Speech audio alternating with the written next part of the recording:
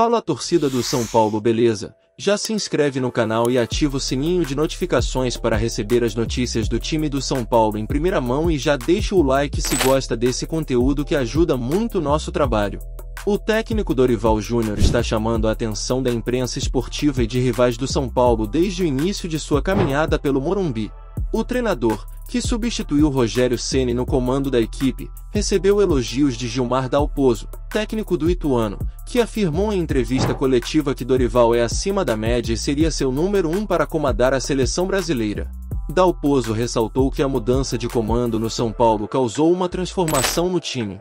Segundo o técnico, Dorival já implementou grandes mudanças no comportamento dos atletas, principalmente em relação à marcação ao adversário. Ele destacou que o novo comandante São Paulino fez uma marcação agressiva, o que mudou o comportamento do Ituano em campo. Dorival já teve seu nome cogitado para substituir Tite na seleção brasileira após a Copa do Mundo do Catar, mas as conversas não se concretizaram. O treinador tem um currículo de sucesso, sendo o atual campeão da Copa do Brasil e da Libertadores da América pelo Flamengo. Com a declaração do técnico do Ituano, é possível que o nome de Dorival Júnior ganhe ainda mais destaque na imprensa esportiva e que os torcedores e dirigentes da seleção brasileira fiquem de olho no trabalho do treinador pelo São Paulo.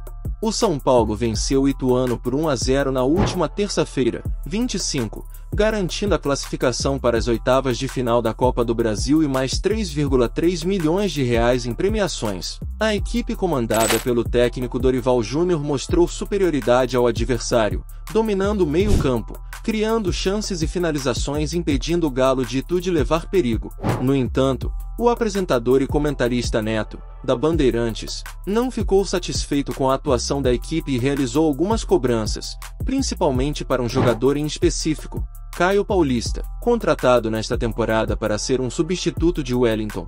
O jogador atuou como lateral nos seus tempos de Fluminense, e veio ao Morumbi através de um empréstimo. Neto criticou Caio Paulista após ele ter cometido um erro na cobrança de um lateral, o que levou o ex-jogador às gargalhadas durante o programa, além de inúmeras críticas. Na opinião de Neto, um erro como esse não pode acontecer com um jogador profissional de futebol, ainda mais do São Paulo. Porém, é importante ressaltar que Caio Paulista é um jogador novo e que ainda está se adaptando ao estilo de jogo da equipe. É natural que erros ocorram durante o processo de aprendizagem e evolução. É preciso ter paciência e dar tempo ao jogador para que ele possa se desenvolver e melhorar seu desempenho em campo. Agora, queremos saber a sua opinião.